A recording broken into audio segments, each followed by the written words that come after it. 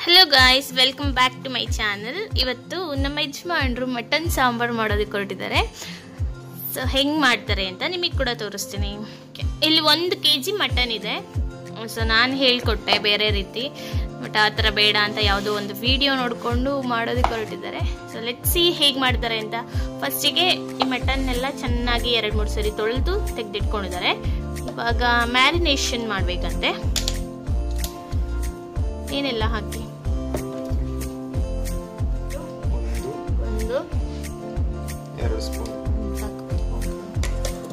ಎರಡು tea spoon ಅಷ್ಟು curd ಹಾಕೊಂಡಿದ್ದಾರೆ. ನೆಕ್ಸ್ಟ್ ನೆಕ್ಸ್ಟ್ ಇವಾಗ ಅದಕ್ಕೊಂದು ಸ್ವಲ್ಪ ಅರಿಶಿಣ ಪೌಡರ್ ಹಾಕೊಳ್ತಾ ಇದ್ದಾರೆ. ಟರ್ಮರಿಕ್ ಪೌಡರ್ ಇದೊಂದು ಅರ್ಧ ಟೀ ಸ್ಪೂನ್ ನೆಕ್ಸ್ಟ್ ಒಂದು ಸ್ವಲ್ಪ ಉಪ್ಪು.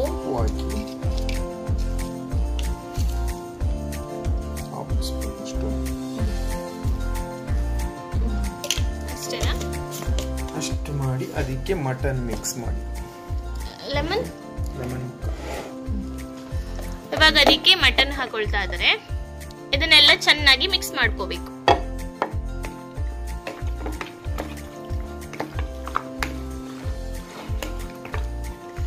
ಎಷ್ಟು ತಿಡಕ್ಕೆ ಇದನ್ನ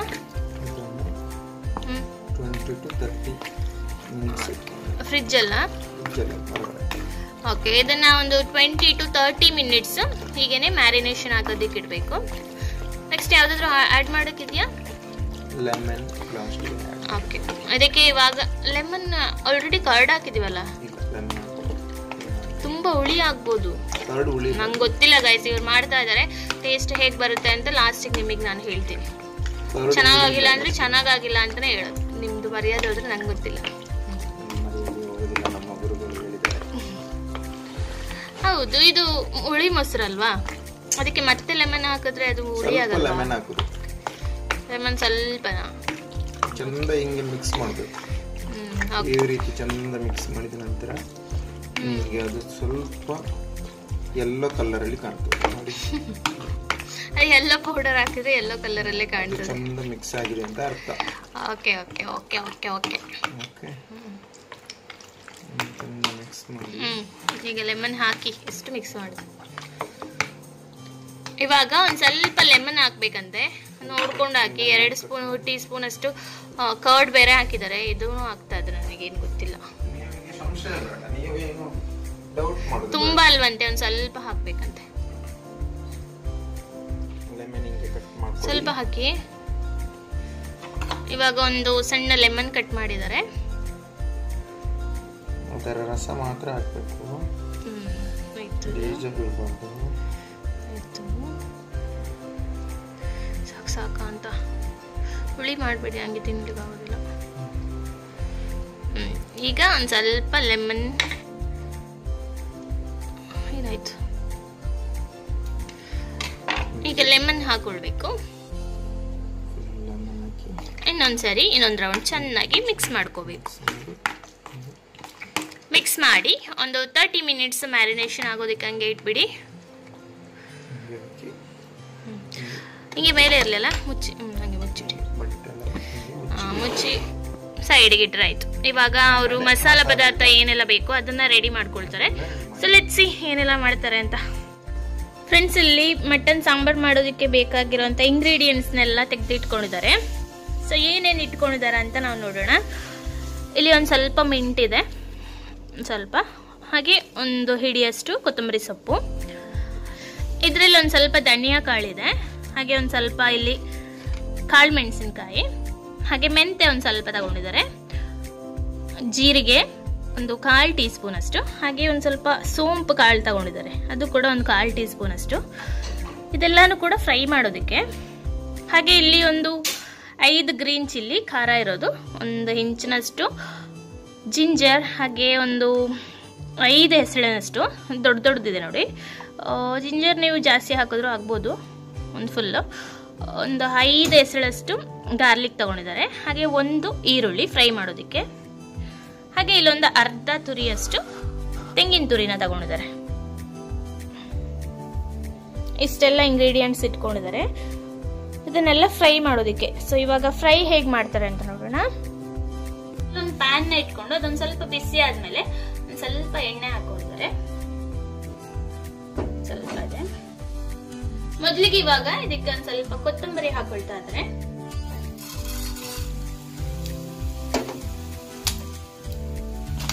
ಹಾಗೆ ತಗೊಂಡಿರೋ ಇದೆಲ್ಲ ಇದೆಯಲ್ಲ? ಕರಿ ಮೆಣಸಿನಕಾಯಿ.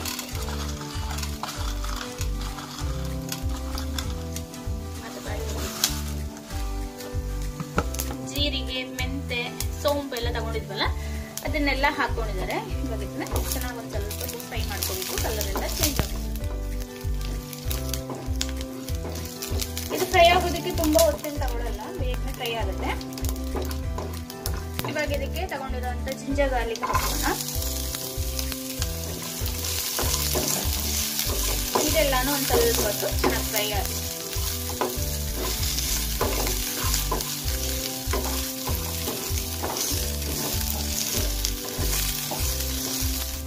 ಇವಾಗ ಇದಕ್ಕೆ ಗ್ರೀನ್ ಚಿಲ್ಲಿ ಹಾಕೋಣ. ಇದು ಕೂಡ ಒಂದು ಸ್ವಲ್ಪ ಹೊತ್ತು ಚೆನ್ನಾಗಿ ಫ್ರೈ ಆಗಬೇಕು. ಆನಿಯನ್ ಹಾಕೋಣ. ನೆಕ್ಸ್ಟ್ ಇವಾಗ ಆನಿಯನ್ ಹಾಕೋಣ.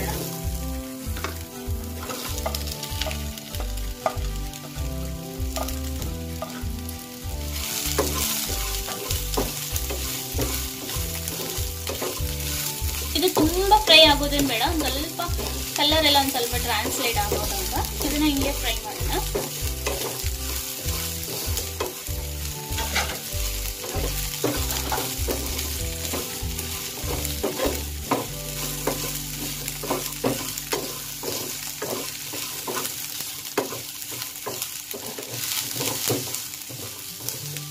ಇದನ್ನೆಲ್ಲ ಫ್ರೈ ಮಾಡುವಾಗ ಫ್ಲೇಮ್ನ ಲೋನಲ್ಲೇ ಇಟ್ಕೊಳ್ಳಿ ಇಲ್ಲಾಂದ್ರೆ ಇದು ಸೀದೋಗುತ್ತೆ.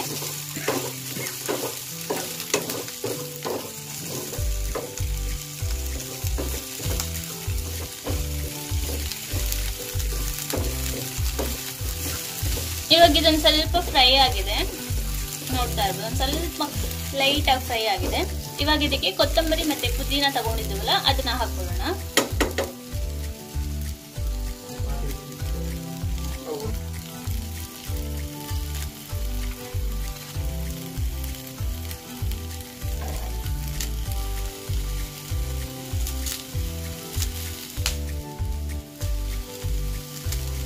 ಈ ಸೊಪ್ಪೆಲ್ಲಾನು ಒಂದ್ ಸ್ವಲ್ಪ ಹೊತ್ತು ಚೆನ್ನಾಗಿ ಬಾಡೋ ತನಕ ಇದನ್ನ ಫ್ರೈ ಮಾಡ್ಕೊಳ್ಳೋಣ.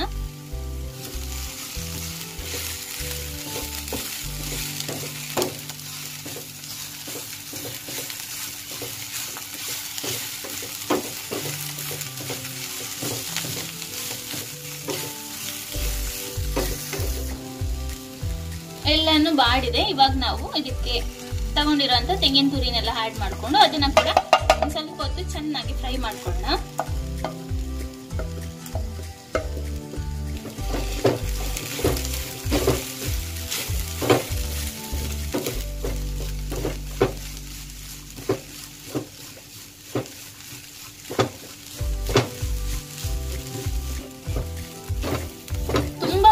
ಫ್ರೈ ಮಾಡೋದು ಬೇಡ. ಇವಾಗ ಒಂದ್ ಸ್ವಲ್ಪ ಹೊತ್ತಾಗಿದೆ. ಎಲ್ಲಾನು ಕೂಡ ನೋಡ್ತಾ ಇರ್ಬೋದು. ಚೆನ್ನಾಗಿ ಫ್ರೈ ಆಗಿದೆ. ಇದನ್ನ ನೆಕ್ಸ್ಟ್ ಗ್ರೈಂಡ್ ಮಾಡೋದಕ್ಕಿದೆ. ಹಾಗಾಗಿ ಇದನ್ನ ಒಂದ್ ಸ್ವಲ್ಪ ಹಾರೋದಕ್ಕೆ ಫ್ಯಾನ್ ಕೆಳಗಡೆ ಇಟ್ಬಿಡೋಣ. ಹಾರಿದ್ಮೇಲೆ ನೆಕ್ಸ್ಟ್ ಇದನ್ನ ಗ್ರೈಂಡ್ ಮಾಡ್ಕೊಂಡ್ರೆ ಆಯ್ತು. ಗೈಸ್ ಇಲ್ಲೊಂದು ಕುಕ್ಕರ್ ಬಿಸಿ ಆಗೋದಕ್ಕೆ ಇಟ್ಕೊಂಡಿದ್ದಾರೆ. ಇದಕ್ಕೆ ಇವಾಗ ಒಂದು ಎರಡು ಟೀ ಸ್ಪೂನ್ ಅಷ್ಟು ಗೀ ಹಾಕೊಳ್ಳೋಣ.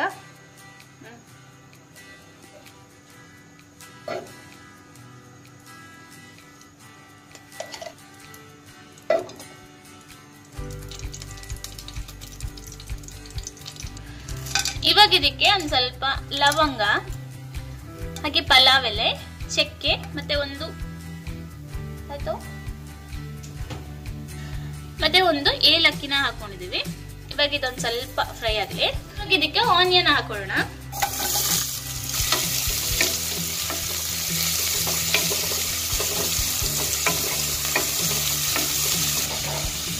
ಆನಿಯನ್ ಎಲ್ಲ ಒಂದ್ ಸ್ವಲ್ಪ ಲೈಟ್ ಬ್ರೌನ್ ಕಲರ್ ಆಗಿ ಅಲ್ಲಿ ತನಕ ಇದನ್ನ ಒಂದು ಸ್ವಲ್ಪ ಚೆನ್ನಾಗಿ ಫ್ರೈ ಮಾಡ್ಕೊಳ್ಳೋಣ. ಇಲ್ಲಿ ನಾವು ಆವಾಗಲೇ ಮ್ಯಾರಿನೇಷನ್ ಮಾಡಿಟ್ಕೊಂಡಿರೋಂಥ ಮಟನ್ನ ತೆಗೆದಿಟ್ಕೊಂಡಿದ್ದೀನಿ. ತರ್ಟಿ ಮಿನಿಟ್ಸ್ ಆಗಿದೆ ಮ್ಯಾರಿನೇಷನ್ಗೆಲ್ಲ ಇಟ್ಟು. ಇವಾಗ ಇದನ್ನ ನಾ ಫ್ರೈ ಮಾಡಿಟ್ಟಿರೋ ಆ ಈರುಳ್ಳಿ ಒಳಗೆಲ್ಲ ಹಾಕೊಳ್ಳೋಣ.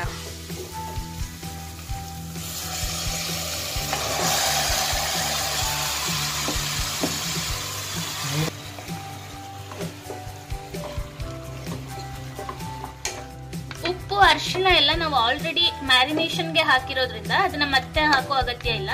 ಇದನ್ನೆಲ್ಲ ಇವಾಗ ಚೆನ್ನಾಗಿ ಮಿಕ್ಸ್ ಮಾಡಿಕೊಂಡು ಒಂದು ಐದು ವಿಶಿಲ್ ಆಗೋ ತನಕ ಮುಚ್ಚಳ ಮುಚ್ಚಿ ಕೂಗಿಸ್ಕೊಳ್ಳೋಣ. ಇದಕ್ಕೆ ನೀರೇನು ಹಾಕ್ತಾ ಇಲ್ಲ. ಅದೇ ನೀರು ಬಿಟ್ಕೊಳುತ್ತೆ ನೀರೇನು ಹಾಕೋ ಅಗತ್ಯ ಇಲ್ಲ. ಒಂದು ಮೀಡಿಯಂ ಫ್ಲೇಮ್ ಅಲ್ಲಿ ಇಟ್ಕೊಂಡು ಇದನ್ನ ಬೇಯಿಸ್ಕೊಳ್ಳೋಣ.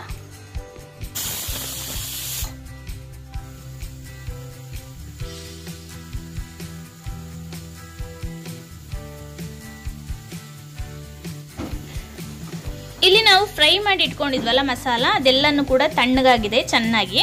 ಅದನ್ನು ಇವಾಗ ಒಂದು ಮಿಕ್ಸಿ ಜಾರ್ಗೆ ಹಾಕ್ಕೊಂಡು ಅದಕ್ಕೆ ಒಂದು ಅರ್ಧ ಟೀ ಸ್ಪೂನ್ ಅಷ್ಟು ಅರಿಶಿಣ ಪೌಡರ್ನು ಕೂಡ ಹಾಕಿಟ್ಕೊಂಡಿದ್ದೀವಿ ಇದಕ್ಕೆ ಇವಾಗ ಒಂದು ಎರಡು ಟೀ ಸ್ಪೂನ್ ಅಷ್ಟು ಮಟಲ್ ಮಸಾಲ ಪೌಡರ್ನ ಕೂಡ ಹಾಕೊಳ್ಳೋಣ.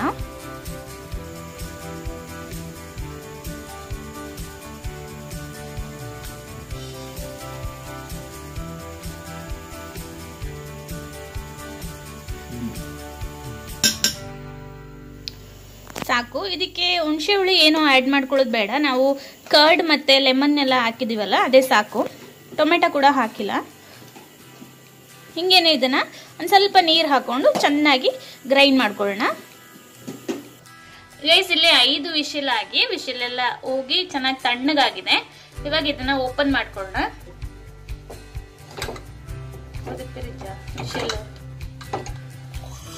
ನೋಡಿ ಮಟನ್ ಎಲ್ಲ ಚೆನ್ನಾಗಿ ಬೆಂದಿದೆ.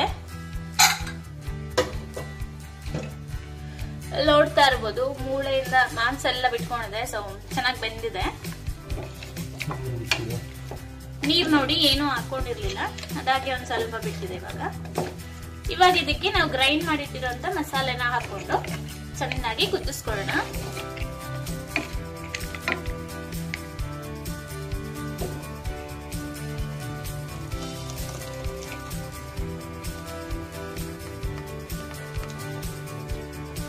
ಜಾರಲ್ಲಿ ಒಂದ್ ಸ್ವಲ್ಪ ಮಸಾಲೆ ಇದೆ. ಇದಕ್ಕೂ ಇದಕ್ಕೂ ಒಂದ್ ಸ್ವಲ್ಪ ನೀರ್ ಹಾಕೊಂಡು ಅದನ್ನೆಲ್ಲ ಚೆನ್ನಾಗಿ ಮಿಕ್ಸ್ ಮಾಡ್ಕೊಂಡು ಇದಕ್ಕೆ ಹಾಕೊಳ್ಳೋಣ.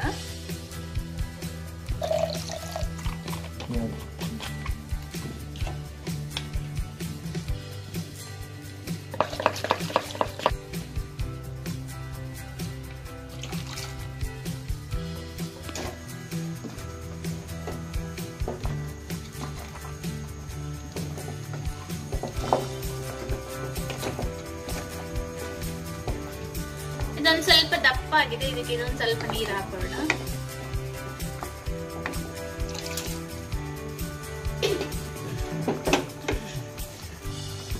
ಇದೊಂದ್ ಸ್ವಲ್ಪ ತಿಂಗೇನೆ ಚೆನ್ನಾಗಿ ಕುದಿಲಿ, ನಂತರ ಉಪ್ಪು ನೋಡ್ಕೊಂಡು ಬೇಕಿದ್ರೆ ಒಂದ್ ಸ್ವಲ್ಪ ಆಡ್ ಮಾಡ್ಕೊಳ್ಳೋಣ. ಈಗ ಇದಕ್ಕೆ ಒಂದು ಲಿಟ್ನ ಕ್ಲೋಸ್ ಮಾಡಿ ಚೆನ್ನಾಗಿ ಕುದಿಯೋದಕ್ಕೆ ಬಿಡೋಣ.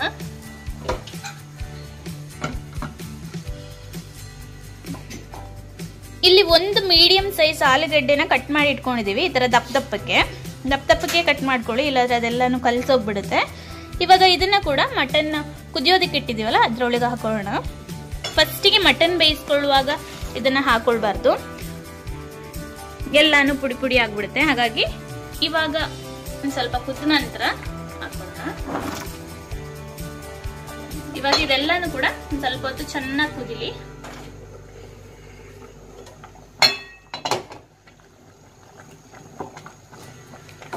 ತರ ಮಿಕ್ಸ್ ಮಾಡ್ಕೊಳ್ತಾ ತಳ ಹಿಡಿದಂಗೆನೆ ಇದನ್ನ ಕುದಿಸ್ಕೊಳ್ಳೋಣ. ಗೈಸ್ ಕನ್ಸಿಸ್ಟೆನ್ಸಿ ನೋಡಿ. ಸ್ವಲ್ಪ ತಿಕ್ಕು. ತುಂಬಾ ನೀರಾಗೂ ಇಲ್ಲ, ತುಂಬಾ ಗಟ್ಟಿಯಾಗೂ ಇಲ್ಲ. ಎಷ್ಟಿದೆ ಇವಾಗ ಇದು ಒಂದು ಐದಾರು ನಿಮಿಷ ಚೆನ್ನಾಗಿ ಕುದ್ದಿದೆ. ನೋಡ್ತಾ ಇರ್ಬೋದು. ಕ್ವಾಂಟಿಟಿ ಎಷ್ಟಿದ್ದಿದೆ ಎಷ್ಟಾಗಿದೆ ಅಂತ. ನಮಗೆ ಜಸ್ಟ್ ಆಲೂಗೆಡ್ಡೆ ಚೆನ್ನಾಗಿ ಬೇಯೋ ತನಕ ಇದನ್ನ ಹಿಂಗೆ ಕುದಿಸ್ಕೊಳ್ಳೋಣ. ಆಮೇಲೆ ಇದನ್ನ ಫ್ಲೇಮ್ ಆಫ್ ಆಫ್ ಮಾಡ್ಕೊಂಡು ಉಪ್ಪು ಒಂದು ಸ್ವಲ್ಪ ಕಡಿಮೆ ಇತ್ತು, ಅದನ್ನ ಕೂಡ ಎಕ್ಸ್ಟ್ರಾ ಆ್ಯಡ್ ಮಾಡ್ಕೊಂಡಿದೀವಿ. ಇವಾಗ ಉಪ್ಪೆಲ್ಲಾನು ಕೂಡ ಮಸಾಲೆ ಎಲ್ಲ ತುಂಬಾ ಚೆನ್ನಾಗಾಗಿದೆ. ಉಪ್ಪೆಲ್ಲಾನು ಕೂಡ ಕರೆಕ್ಟ್ ಆಗಿದೆ. ಹೀಗೆ ಒಂದು ಸ್ವಲ್ಪ ಹೊತ್ತು ಕುದಿಯೋಗ್ಬಿಟ್ಟು ನಂತರ ಆಲೂಗೆಡ್ಡೆ ಬೆಂದಿದೆಯಾ ಇಲ್ವಾ ಅಂತ ಒಂದು ಸ್ಪೂನಲ್ಲಿ ಚೆಕ್ ಮಾಡಿಕೊಂಡು ನಂತರ ಫ್ಲೇಮ್ ಆಫ್ ಮಾಡಿಕೊಂಡ್ರೆ ಆಯ್ತು. ರೈಸ್ ಇವಾಗ ಒಂದು ಹತ್ತು ನಿಮಿಷ. ಲೋ ಫ್ಲೇಮಲ್ಲಿ ಚೆನ್ನಾಗಿ ಸಾಂಬಾರೆಲ್ಲ ಕುದ್ದಿದೆ. ಕನ್ಸಿಸ್ಟೆನ್ಸಿ ನೋಡ್ಬೋದು. ತುಂಬ ನೀರಾಗೂ ಇಲ್ಲ, ತುಂಬ ಗಟ್ಟಿಯಾಗೂ ಇಲ್ಲ. ಉಪ್ಪೆಲ್ಲಾನು ಕೂಡ ಕರೆಕ್ಟ್ ಆಗಿದೆ. ಈ ಟೈಮಲ್ಲಿ ಲಾಸ್ಟಿಗೆ ನಾನು ಸ್ವಲ್ಪ ಕೊತ್ತಂಬರಿ ಸೊಪ್ಪು ಸೇರಿಸ್ಕೊಳ್ತಾ ಇದ್ದೀನಿ. ಹಾಕೊಂಡು ಒಂದ್ಸರಿ ಮಿಕ್ಸ್ ಮಾಡಿಕೊಂಡ್ರೆ ನಮ್ಮ tasty green mutton masala ready ಆಗುತ್ತೆ. ಗೈಸ್ ಸೂಪರಾಗಿ ಚಪಾತಿ ಮತ್ತೆ ಮಟನ್ ಸಾರು ರೆಡಿ ಆಗಿದೆ. ತಿಂದು ಟೇಸ್ಟ್ ಹೇಗಿದೆ ಅಂತ ನೋಡೋಣ. ನೋಡೋಕ್ಕಂತೂ ತುಂಬಾನೇ ಸೂಪರಾಗಿ ಕಾಣಿಸ್ತಾ ಇದೆ. ತಿನ್ಬಿಟ್ಟು ಟೇಸ್ಟ್ ಹೇಗಿದೆ ಅಂತ ಹೇಳ್ತೀನಿ.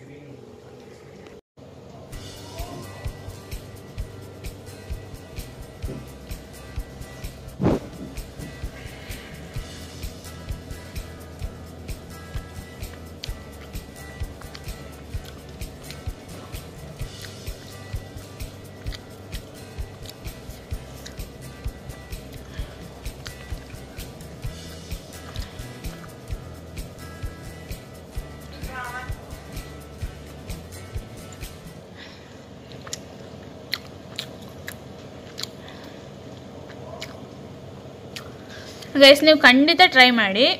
ರಿಯಲಿ ತುಂಬಾ ಸೂಪರಾಗಿ ಬಂದಿದೆ. ನಾನು ಮಾಡುವಾಗ ಇಷ್ಟು ಚೆನ್ನಾಗಿ ಬರುತ್ತೆ ಅಂದ್ಕೊಂಡಿರಲ್ಲ ನಾನು ಬೇರೆ ಮೆಥಡಲ್ಲಿ ಮಾಡೋದು ಸೊ ಅವ್ರಿಗೂ ಹಂಗೆ ಹೇಳಿದ್ದೆ ಬಟ್ ಈ ಸರಿ ಬೇರೆ ಟ್ರೈ ಮಾಡ್ತೀನಿ ಅಂತ ಅಂದಿದ್ರು. ಓಕೆ ಹೆಂಗೆ ಮಾಡ್ತಾರೆ ನೋಡೋಣ ಅಂದ್ಕೊಂಡಿದ್ದೆ ಬಟ್ ಮಟನ್ ಗೊತ್ತಲ್ಲ, ಅದು ಮಾಡೋ ರೀತಿಲೇ ಮಾಡಬೇಕು ಆವಾಗಲೇ ಚೆಂದ. ಸೊ ಸ್ವಲ್ಪ ಸ್ವಲ್ಪ ನಾನು ಕೂಡ ಹೇಳ್ಕೊಟ್ಟೆ. ತುಂಬಾ ಚೆನ್ನಾಗಿದೆ, ತುಂಬ ಚೆನ್ನಾಗಿ ಬಂದಿದೆ.